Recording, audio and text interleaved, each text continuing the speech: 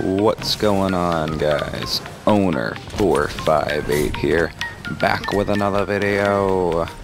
And this time I am bringing you guys another montage. I hope you guys enjoy it. There will be more of these to come as my channel continues. Um, if you guys do end up enjoying this, make sure to leave a like on this video. Also, leave a comment, let me know what you guys are thinking. But most importantly, everybody, subscribe to my channel. That will help me out greatly.